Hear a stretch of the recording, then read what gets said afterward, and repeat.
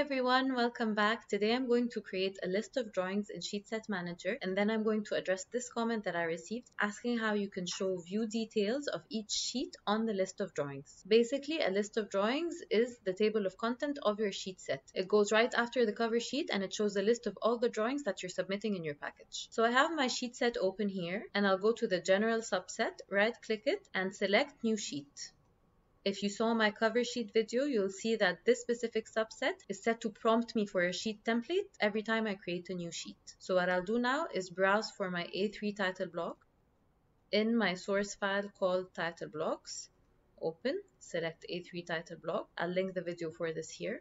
Click OK. Sheet number is 000. Sheet title is list of drawings click OK and now my sheet is ready. Now my list of drawings is going to be added to this sheet in the form of a table. So before adding it, it's very important to set the table style first. So I'll type in table style and I'll click new to create my own style. I'll call it local table style. Continue and this window pops up. So it's showing a little preview here with three different cell styles. If you go to cell styles, you'll see that you have data, which is showing on the preview, and header and title. So I'll start with the title. First, I'll go to the text tab and change the font to 4. Then I'll move back to general. And as you can see, the preview is adjusting. And I'll see if I want to change anything here. So I'm okay with the properties. The margins I'm going to change to one horizontal and one vertical. Then I'll go to header. Same thing. I'll start with text, change text height to 4, go back to general, and here I'm going to pick a fill color for it. So I'll click the drop down menu, go to select color, and I'll pick this gray color with index number 9. It's important to remember that.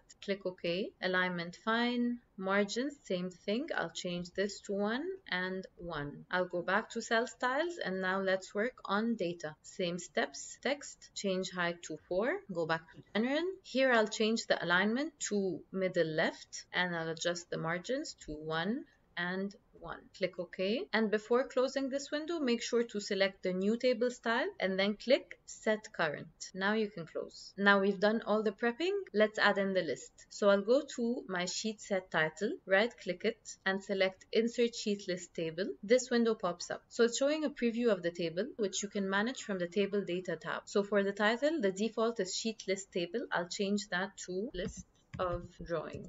And in column settings, it's showing the data type that's going to be displayed under each column. And the heading text is the header of each column as well. So you can edit the heading text, but the data is going to be pulled from your sheets. For the sake of consistency, I'm going to change the heading text to match what I have written on my title block. So on my title block, I have drawing number and drawing title. And this is exactly what I'm going to write here. Instead of sheet number, I'll write drawing number. And instead of sheet title, I'll write drawing title. Then I'll move to my subsets and sheets tab to make sure all the sheets and subsets are selected or uncheck any sheets that I don't want to appear on my sheet list. Next, I'll go back to table style settings and I'll change the table style to local table style, which is the one we just created. And I'll check mark show subheader so it includes my subsets as well in the list. Click OK and let's see what it looks like. I'll place it here. As you can see, all the data cells are grayed out like fields because they're pulling the information directly from the sheets. The header row is black though because in a previous video, I set my plot style to show all the colors as black except for the cyan. So what I'm gonna do is hit Ctrl P on my keyboard to adjust my plot style. I'll go to plot style table, then click the edit icon and I'll select color 9. This is why I told you to remember the index number of the color you chose. And in properties, I'll change the color to use object color. Then I'll click save and close and click cancel, regenerate. There you go. Now what happens if I add a new sheet to my sheet set? Let me show you. So let's go to this subset, right click, create new sheet, 102, powder room enlargement. I don't need to open in drawing editor, click OK. So the sheet is created here and it's under the sheet set.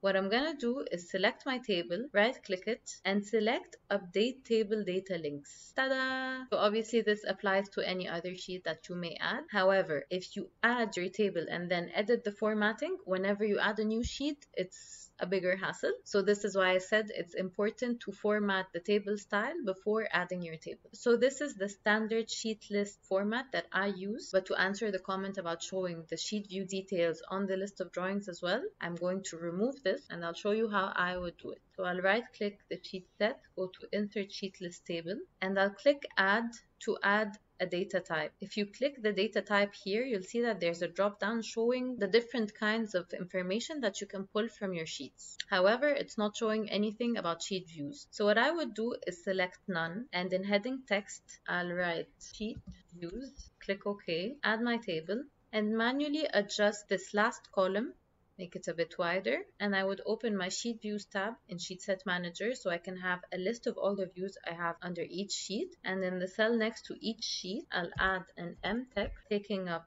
the entire cell adjust my font to 4 justification to middle left and just manually type in the list of views that you have under each sheet. So in as built plan I have 01 as built plan.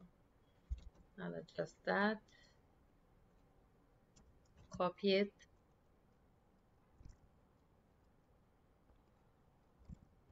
and in cases like this where the text is not fitting I would select the cell and adjust the row height.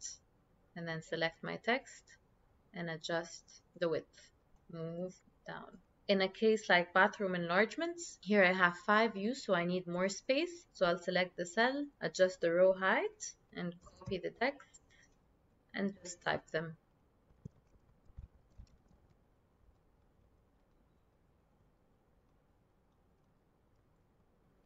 and maybe make this text a bit smaller and just add it here. I'll just match those to make it look nice and neat.